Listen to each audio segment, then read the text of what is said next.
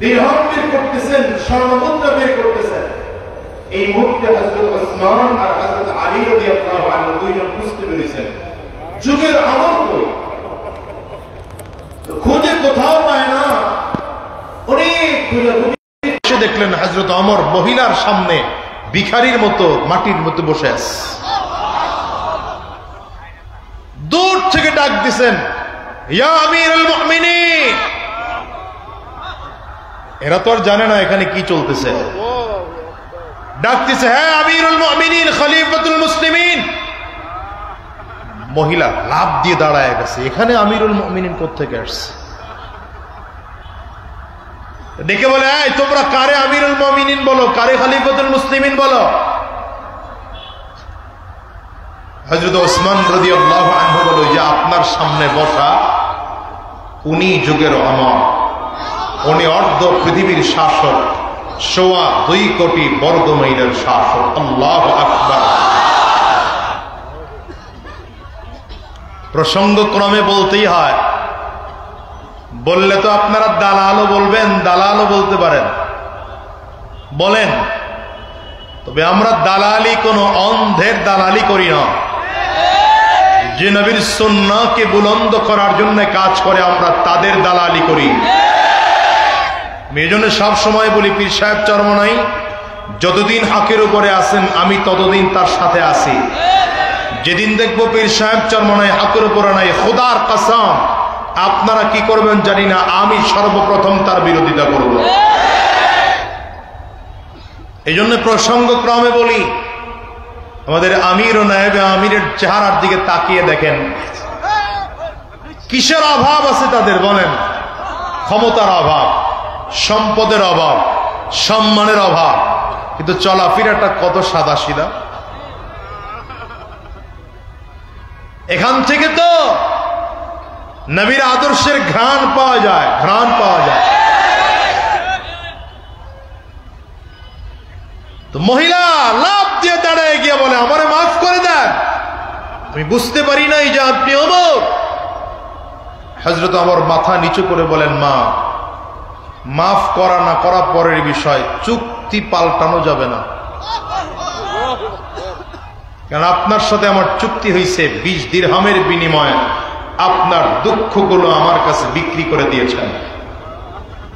মহিলা, বিশ দেহাম মহিলার হাতে হজরত আমার রদি আল্লাহ দিয়া নিজের চাদর ছিঁড়েছেন, চাদর।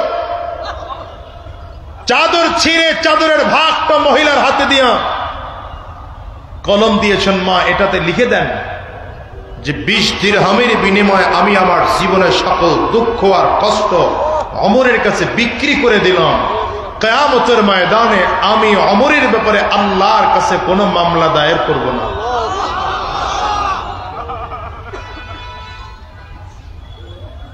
হ্যাঁ এটা কি এই যুগ? যেই যুগে জনগণের টাকা ময়রা বাঁশ দিয়া রড, বাঁশের রডের পরিবর্তে বাঁশ দেওয়া হয়, এটা কি এই যুগ মনে করছেন যে জাতি যেন খেলাফার কথা চিন্তাও না করতে পারে, পুরুষরাও যেন মহিলা বানায় দেওয়া যায় এই জন্য নতুন এক ট্রান্সজেন্ডার নামে ভাইরাস ঢুকানোর পায়ে তারা চলতেছে। মানে মাথা খারাপগুলো একের পর এক, কি করতেছে এদের খবরই নেই। কিছুদিন কয়, আমরা আদম সন্তান না, আমরা বানরের বাচ্চা। আমরা বলছিলাম, তোরা বানরের বাচ্চা হইতে পারস, আমরা মানুষের বাচ্চা। কথা বলেন না কেন?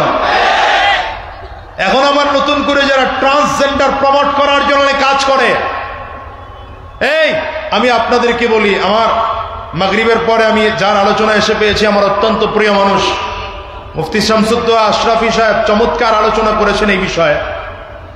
কিন্তু আমি ওই দিকে লম্বা আলোচনা করব না, শুধু এতটুকু বলব, আপনার ছেলেটা আঠারো বছর পর্যন্ত ২০ বছর ২৫ বছর পর্যন্ত ছেলে ছিল। নামও রাখছেন ছেলে। হঠাৎ করে আঠারো বছর পরে যদি কয়, না, আমার নাম ছেলে না। আব্বা, আমি আজকে মেয়ে হয়ে গেলাম। কেন বলে, আমার মনটা মেয়ের মতো। মেনে নিবেন, এখানে আসেন কে কে? আসতে বলে তো। মেনে নিবেন এমন কেউ আছেন? আপনার মেয়েটা যদি আঠারো বিশ বছর পরে বলে, না, আমি তো মনে মনে ছেলে, কারণ আমার মহিলা মনটা পুরুষ দেহে আটকা পড়েছে। এদের স্লোগান কি? নারী মন পুরুষ দেহে আটকা পড়ছে, অথবা পুরুষ মন নারী দেহে আটকা পড়ছে, এই তো। মানবেন আপনারা কেউ? কথা বলেন না কেন? হয়তো, আরে হুশে আনার জন্যে পায়ে জুতা থাকলে জুতা দিয়েই শুরু করবেন আর যদি দেখেন না, মাথা খারাপ হয়ে গেছে, তাহলে পাবনায় পাঠাবেন পাগলা কারোতে চিকিৎসা করার জন্য। আমিও তাদেরকে বলতে চাই, যারা আমার কোমলমতি সন্তানদের লেখা পড়ার খাতার পাতার মধ্যে, বইয়ের মধ্যে ট্রান্সজেন্ডারকে প্রমোট করার জন্য লেখাগুলো ঠকিয়ে দেয়, আমরাও মনে করি ওদের মাথা খারাপ হয়েছে। চিকিৎসা করাতে হবে। নয়তো দেশের জনগণ জুদা দিয়া দিয়া দিয়া দিয়া সাহেস্তা করে। শোনো পীর সাহেব স্বপ্ন কি দেখে? ওলামাই কেরাম স্বপ্ন কি দেখে সেটা ক্লিয়ার হওয়া দরকার। ওলামাই কেরাম পীর সাহেব চরমনাই এদেশের হাক্কানি ওলামাই কেরাম কখনো স্বপ্ন দেখে না। যে মেম্বার হব আর চেয়ারম্যান হব আর এমপি হব আর মন্ত্রী হব বড় বড় ক্ষমতাবান হইয়া দেশের লক্ষ কোটি টাকা লুট করব। না, বরঞ্চ আমরা স্বপ্ন দেখি এটা। আমরা এদেশের ক্ষমতা যদি কোনোদিন আল্লাহ আমাদেরকে দেন, তাহলে আমরা এদেশের জনগণের খাদেম হব, জনগণের খাদেম হব। কি কথা বলেন না কেন? এই জন্য আমাদের কষ্ট এই জন্য আমাদের পরিশ্রম এই জন্য আমাদের ঘাম। আমি আপনাদেরকেও জানতে চাই আপনাদেরকেও প্রশ্ন করতে চাই আপনার হাক্কানি ওলামাই কেরামদের আসেন তো? পীর সাহেব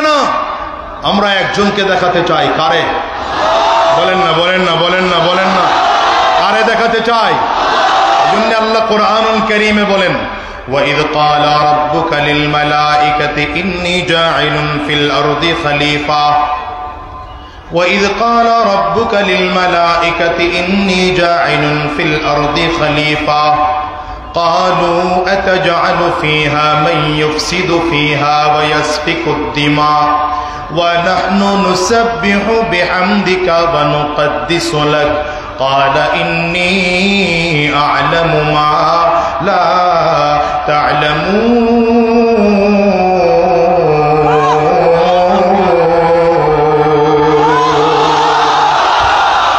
আল্লাহ তাআলা ফিরিস্তাদেরকে ডাকলেন ফিরিস্তাদেরকে ডেকে ডেকে বললেন, ফিরিস্তারা, আমি জগতের মধ্যে, জমিনের মধ্যে আমার একদল প্রতিনিধি পাঠাতে চাই। প্রতিনিধির কাজ কি?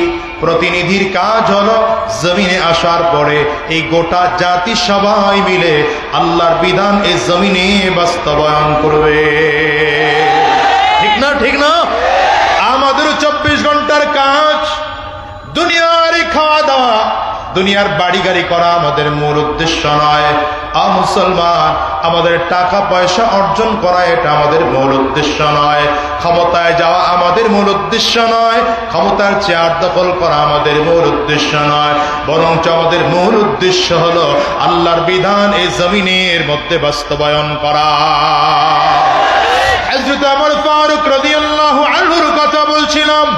ওমর রাস্তা দিয়ে হেঁটে যায় হঠাৎ করে রাতের বেলা রাস্তা দিয়ে হাঁটতেছেন।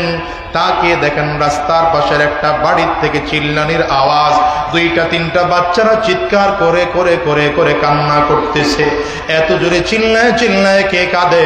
হজরত আমার ডানে, বামে ডানে, বামে তাকাইতেছেন, কোথার থেকে কান্নার আওয়াজ আসে? খেয়াল করে দেখে এক বাড়ি থেকে কেমন ধোঁয়া উঠতেছে, মনে হয় যেন আগুন জ্বলতেছে। আবার সেখান থেকে বাচ্চাদের কান্নার আওয়াজও আসতেছে। হজরত আমার দৌড় দিয়া গেটের সামনে দাঁড়িয়ে ডাক দিয়ে বলে, ঘরে কেউ কি আছো? ঘরে কোনো কি বিপদ? ঘরের ভেতর থেকে কোনো জবাব আসে না, জবাব আসে না। দুই, তিনবার বলার পরে হজরত অমরের পরিচয়টা গোপন রাখা। ভেতর থেকে একজন মহিলা ডেকে বললেন, ভাই, তোমার কাছে বলে কোনো লাভ নাই, বলে কোনো লাভ নাই। বলে না, আমাকে একটু বলেন না, দেখি আমি আপনারে কোনো উপকার করতে পারি কিনা। মহিলা কান্না করে আর বলে, ভাই, আমার ঘরে কোনো বিপদ নয়, আসল বিপদ হলো আমার স্বামী হজরত অমরের সাথে যুদ্ধের ময়দানে যাইয়া ইসলামের জন্য জীবন দিয়া শহীদ হয়ে আল্লাহর জান্নাতে চলে গিয়েছে। স্বামী বিদায় নেওয়ার পর আমার স্বামীর তিনজন আমানত সন্তান, এই সন্তানকে নিয়ে জমিনের মধ্যে আমি থাকি, বসবাস করি। কিন্তু আমার স্বামীর রেখে যাওয়া যত সম্পদ ছিল, ধীরে ধীরে ধীরে ধীরে সব সম্পদগুলো শেষ হয়ে গিয়েছে। আজকে তিনটা দিন ধরে ঘরে খাবারের কিছুই নাই। প্রচণ্ড ক্ষুধার কারণে বাচ্চাগুলো থরথর করে কাঁপতেছে। ওরা শুধু চিল্লায়, আমি মা হয়ে ওদেরকে কোনোভাবে খানা খাওয়ানোর মতো যোগ্যতা রাখি না। মানুষের বাড়িতে কাজ করে খাওয়াবো সেই সাধ্য আমার নাই। বাচ্চাদেরকে বারবার করে সান্ত্বনা দেওয়ার জন্য চুলার মধ্যে পাতিলা দেয়া পালিতে পাতিলার মধ্যে পানি দিয়া চুলার মধ্যে জাল দেয় বাচ্চাদেরকে বলি, ঘুমাও। যেদিন মা খানা রান্না করতে পারব, তোমাদেরকে খাওয়াবো। এই কথা বলে বলে বাচ্চাদেরকে ঘুম পাড়ায়। আবার ঘুম থেকে উঠে বাচ্চারা কান্না করে, আবার ঘুমের মধ্যে আবার ঘুম পাড়ায়। এই কথাগুলো বলতে বলতে সবচেয়ে ছোট বাচ্চাটা বেহুশ হয়ে জমিনের মধ্যে পড়ে যায়। মহিলা একটা চিৎকার দিয়ে ডাক দেয় তোমার সাথে কথা বলতে বলতে আমার ছোট বাচ্চাটা খেতে না পেরে প্রচণ্ড ক্ষুধার কারণে ছটফট করে বেহুশে জমিনের মধ্যে পড়ে গেল। আমি তোমারে বলে রাখি, আজকে আমার আমার খবর নেয় না। কেমতের ময়দানে অমরও যা থাকবে আমিও তা থাকব। আমার কোন সন্তান যদি অমরের কারণে না খেয়ে মারা যায়, আমি অমরের গলার মধ্যে রশি লাগাইয়া আল্লাহর সামনে আসামির কাঠ গড়ায় দাঁড় করাবো হাজরত আমার দরজায় দাঁড়িয়ে থরথর করে কাঁপতে আরম্ভ করেছেন এত ভয় এত ভয়। আমি আমার অর্ধ পৃথিবীর শাসক, কিন্তু আজকে আমার গলায় যদি কামতের ময়দানে আসামের রশি লেগে যায়, আপনার সামনে দাঁড়ায় কেমনে ক্ষমা পাবো হজরত আমার মদিনার দিকে দৌড়ায়। বাইতুল মালের সামনে দাঁড়ায় দারোয়ানরে ডাক দেয়, তাড়াতাড়ি করে এসে দরজা খোল বাইতুল মালের দারোয়ান দরজা খুললে হজরত অবর কয়েকটা আটার বস্তা উঠে আমার মাথায় দে। দুইজনে ধরাধরি করে আটার বস্তা উঠে হজরত অমরের মাথায় দিল হজরত অমর দিয়ে দৌড়ায়, আশেপাশের মানুষগুলো ডাক দেয় আমার আপনি কেন আটার বস্তা মাথায় নিয়ে দৌড়ান? কোথায় পৌঁছাইতে হবে আপনি বলেন, আমরা পৌঁছায় দেব। হজরত আমার বলে, পৌঁছায় দিবা, ঠিক আছে। কিন্তু না না, আমি তোমাদের কাছে দেব না। আটার বস্তা আবার দিয়ে যাইতে দাও। কারণ কামতের ময়দানে যদি আমার গলায় রশি লেগে যায়, সেদিন কাউরে খুঁজে পাবো না পাবো না। সুতরাং আটার বস্তা নিতে শুনো আমার ছাড়াও। হজরত আমার আটার বস্তা নিয়ে দৌড়া এইদিকে পেছনে খাদেম নাম ছিল তার আসলাম। আসলাম রে ডাক দেয়, তাড়াতাড়ি কর। তুই আমার পেছনে পেছনে ভুনা গোস্ত দিয়ে একটু দৌড়ায়, বাটিতে করে আয়। পেছনে খাদেম দৌড়ায় হজরত আমার কান্না করেন, আর দৌড়ায়। মহিলার বাড়িতে গিয়ে গোস্ত আটার বস্তা রাইখা। খাদেমরে বললেন, তাড়াতাড়ি করে পানি দিয়ে আটার মধ্যে খামিরা বানাও। রুটি তাড়াতাড়ি করে রেডি করো। আমি রুটিগুলো আগুনে সেকা দেওয়ার জন্য চুলার মধ্যে আগুন ধরাইতে থাকি হাজরত আমার চুলার মধ্যে আগুন ধরায় লাকড়ি দেয় আগুন ধরায় বারবার করে আগুন নিভে যায় আবার আগুন দেয় আবার না আগুন নিভে যায় বারবার করে আগুনের মধ্যে ফু দেয় লাকড়ির মধ্যে ফু দেয় ধোঁয়ার কারণে ধোঁয়ার কারণে দেখা যায় চোখটা লাল হয়ে গিয়েছে চেহারাটা লাল হয়ে গিয়েছে চোখ দিয়ে পানিগুলো বেয়ে বেয়ে বেয়ে বেয়ে পড়ে খাদেমকে হাত ধরে অমর এমন পাগলামি করিয়েন না বীরুল আমি তো রুটি বানাইতেও জানি, রুটি পাকাইতেও জানি। আপনি আমারে দেন, আমি রুটি পাকাই দেব। হজরত বরকা আমার ছাড়া।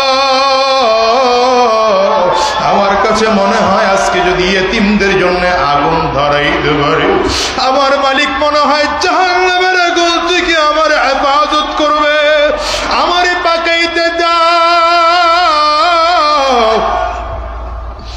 মুসলমান হজরত অমর নিজে রুটি পাকাইলেন। এবার সন্তানদের হাতে নিজে রুটি আটার গোস্ত দিয়া দিয়া, রুটি দিয়া দিয়া আমার হবর খাওয়াইতেছেন বাচ্চাদেরকে। গোস্ত দিয়া দিয়া খাওয়াইতেছেন বাচ্চাদের পেট ভরে গেল। মহিলাকেও পর্দার আড়ালে রুটি আর গোস্ত দিয়া দিলেন, মা, খান। হে মা, আপনার আটা শেষ হওয়ার আগে আগে আমি আবার আটার বস্তা দিয়ে যাব। হজরত অমর তাড়াতাড়ি করে বের হয়ে দৌড়ায়। মসজিদে নবমীতে গিয়ে ফজরের আজান হয়ে গেল। ফজরের নামাজ পড়াইতে হবে। হজরত অমর ফজরের নামাজ পড়ানোর জন্য দাঁড়াইলেন। নামাজ কমপ্লিট হয়ে যায়। হজরত অমর দাঁড়িয়ে কারামদের মাঝে ঘোষণা দেন, নবীর সাহাবিরা কেউ তোমরা যাইব না। আজকে অমরের আদালতে একজন আসামির বিচার হবে। সব সাহাবাই কারাম আশ্চর্য হয়ে গেছে। এ কোন আসামি? মনে হয় রাতের বেলা একা কোন আসামি মনে হয় অমর ধরে আনছে। সে আসামির বিচার বুঝে আজকে হবে, সব আগ্রহ নিয়ে বসা। হজরত অমর দুইজন সাহাবি পাঠালেন, যাও, অমুক এলাকায় একজন মহিলা পাইবা, তার সাথে তিনজন বাচ্চা পাইবা, তাকে ধরে নিয়ে আসবা। যদি আসতে না চায়, জোর করে নিয়ে আসবা। হজরত অমরের পাঠানো সাহাবি দুইজন গিয়া মহিলারে জোর করে আনতেছে। মহিলা এক কদম সামনে বাড়ায়, আবার একটু দাঁড়ায় থাকে। আবার কদম সামনে বাড়ায়, আবার দাঁড়ায় থাকে, আবার কদম সামনে বাড়ায়, তো আবার দাঁড়ায় থাকে। আস্তে আস্তে মসজিদে নবীর সামনে চলে আসছে। মসজিদ রবির বারান্দায় তাকায় দেখে ওই যে একজন ব্যক্তি দেখা যায় হজরত আমার মেম্বারের উপরে বসা। মেম্বারের উপরে যেই মানুষটা বসা, গতকালকে রাত্রিবেলায় আগুনের চুলা যিনি জ্বালানোর জন্য মেহনত করেছিল, ওই মানুষটার সাথে চেহারার মিল খুঁজে পাওয়া যায়।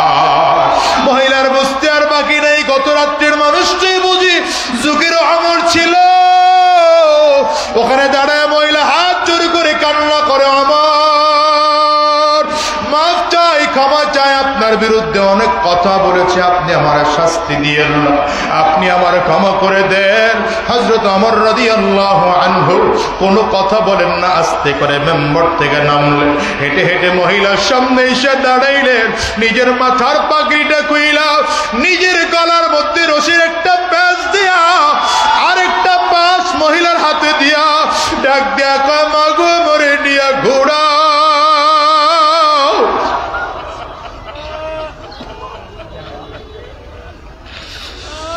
মদিনার সেই জায়গায় ঘোরাইতে হচ্ছে আমারে ঘোরাও।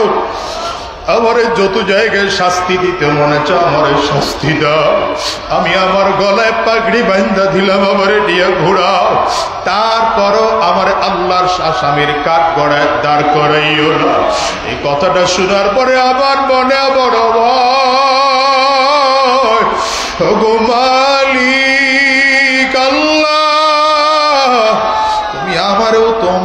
মতো বড় ক্ষমতা দাও নাই, কিন্তু ছোট্ট একটা এলাকার দায়িত্ব দিয়েছ মালিক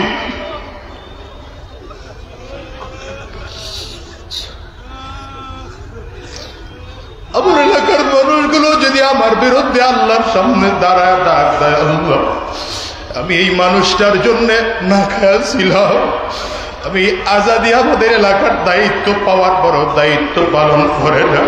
আমার মনে বড় ভয় না যদি আল্লাহর আসামির কাঠ করে আমারও দাঁড়াইতে হয়। গোমালি মাফ করে দাও। ও মুসলমান, আমিও আপনাদেরকে বলে যাই, ভালো করে শোনেন। এটাই ইসলামের চাওয়া, এটাই কোরআনের চাওয়া, এটাই দিনের চাওয়া। এই যুগে যদি ইসলাম দেশে আসতো, তাইলে এই যুগের কোনো মানুষ না খেয়ে থাকতো না। জীবনটা সুন্দর হয়ে যাইত। এই জন্য অনুরোধ করে গেলাম, দুনিয়ায় বেশি দিন বাঁচা যাবে না। আজ আসি আগামীকালকে থাকব এমন কোনো গ্যারান্টি নাই। তবে নবীর ধর্ম এই জমিনে বাস্তবায়ন করার জন্য জমিনে বাস্তবায়ন করার জন্য, আল্লাহর কোরআনে জমিনে বাস্তবায়ন করার জন্য আমাদেরকে আজ থেকে জীবন বাজি রেখে মেহনত করতে হবে, ঠিক কিনা পা আমার কলিজার টুকরা যুবক এই জন্য অনুরোধ করে গেলাম, এত কষ্ট, এত মেহনত। আরে কত জায়গায় দৌড়াই মেহনত, কত কষ্ট হয়, আজকে দেখো টঙ্গির ইস্তেমায় যারা গিয়েছে, বৃষ্টির মধ্যে প্রচণ্ড ভিজা। এরপরও গিয়ে তারা আমার মালিক রে খুঁজে, আল্লাহ তোমারে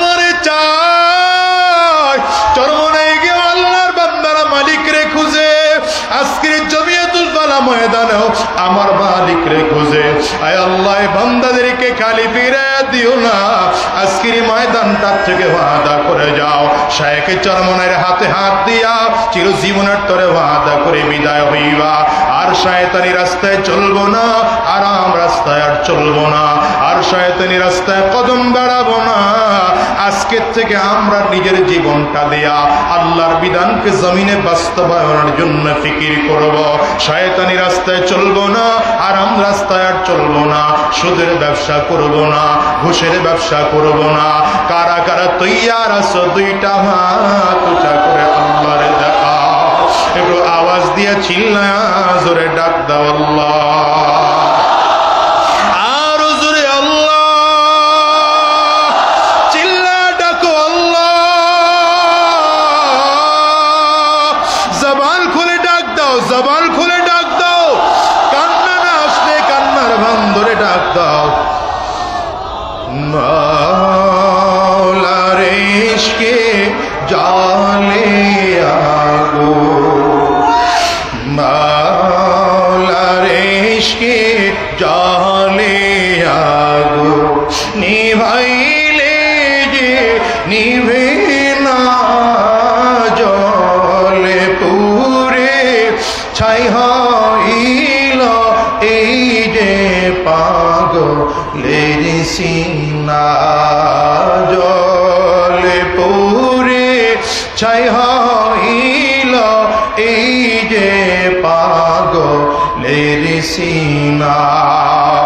ধরা